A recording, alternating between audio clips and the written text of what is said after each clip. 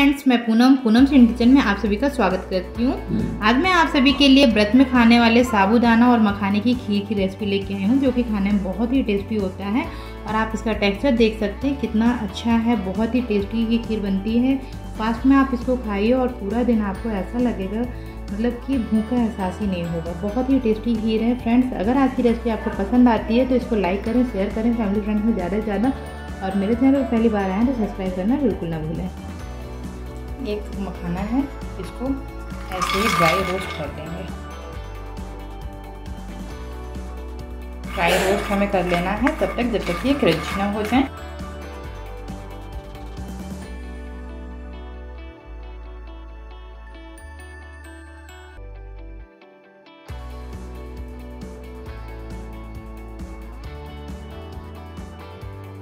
अब इसमें डालेंगे एक चम्मच घी।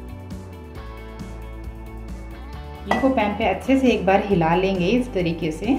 देखिए, वन कप से थोड़ा सा कम है। इतना ही साबुदाना हमें लेना है। तीन से चार मिनट हमें इसे भूनना है।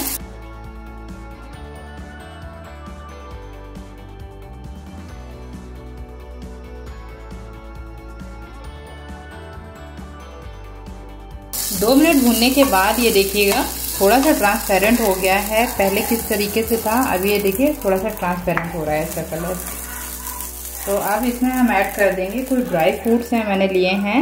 इसमें मैंने बादाम लिया है और जो कोकोनट लिया है, उसको इस तरह से काट लिया है टुकड़ों में। तो इसको भी इसी के साथ में ही हम भून लेंगे। जिससे कि थोड़ा सा ये भी रोस्ट हो जाएगा। आप चाहें तो पहले ही घी में इसको रोस्ट कर सकते हैं। मुझे बहुत ज़्यादा इनको नहीं फ्राई करना था। खाने हैं, मैं इनको इस तरह से क्रश कर लेती हूँ।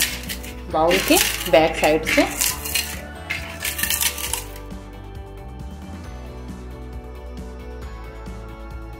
ये देखिए, इस तरह से मैंने इसको क्रश कर लिया है। कुछ खड़े भी हैं, इस तरह से, कुछ इस तरह से हो गए हैं। तो बस हमें इतना ही करना, ज़्यादा नहीं। बस मखाने को भी इसी में डाल देंगे।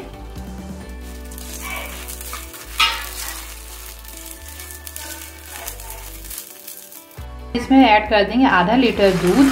तो मैं यहाँ पे फुल क्रीम दूध यूज़ कर रही हूँ।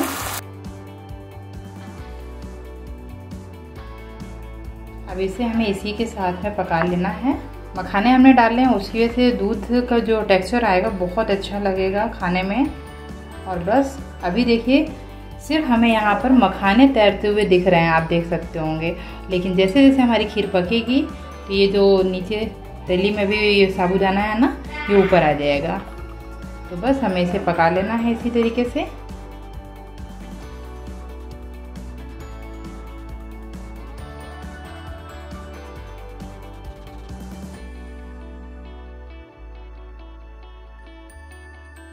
तो इसे हमें तीन से चार मिनट पकाना है मीडियम फ्लेम पर। हमें इसकी मलाई को इस तरह से स्क्रच करते हुए बीच में मिक्स कर देना है। तो इससे क्या है, ये बिल्कुल जैसे रबड़ी होती है ना, लच्छेदार, वैसी हमारी बनकर रेडी होगी। ये काफ़ी थिक हो गई है और ये हमारा साबुदाना खीर लगभग पकाई है तो इसमें ऐड कर देंगे कुछ केसर के थ्रेड 10-12 थ्रेड हैं केसर के। ये पूरी तरीके से ऑप्शनल हैं। अगर आपको डालना है, डालिए। हाफ़ स्पून इलायची पाउडर और अपने टेस्ट के अकॉर्डिंग शुगर शुगर जब तक मेल्ट नहीं हो जाती, तब तक हमें इसे पकाना है। आप देख सकते होंगे, हमारा साबुदाना ऊपर से तैरने लगा है।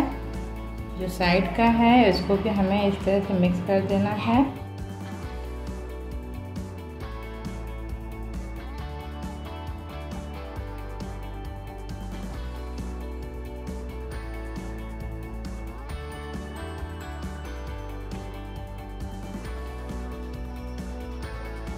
तो हाँ हमें इस स्टेज पे देख सकते हैं आप। थोड़ा सा अभी ये पतला है बट ये जैसे जैसे ठंडा होगा ना तो ये गाढ़ा हो जाएगा। तो हमें यहाँ पे गैस का फ्लेम ऑफ़ कर देना है।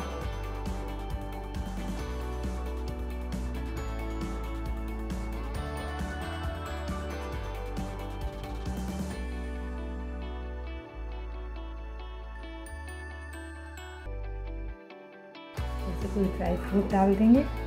और आप इसका टेक्सचर देख सकते हैं कितना अच्छा है, बहुत ही टेस्टी ये खीर बनती है। फास्ट में आप इसको खाइए और पूरा दिन आपको ऐसा लगेगा मतलब कि भूखा एहसास ही नहीं होगा। बहुत ही टेस्टी खीर है फ्रेंड्स। अगर आपकी रेसिपी आपको पसंद आती है तो इसको लाइक करें, शेयर करें, फैमिली फ्रेंड्स में ज़्यादा से ज़्यादा। और मेरे चैनल पर पहली बार आए तो सब्सक्राइब करना बिल्कुल ना भूलें।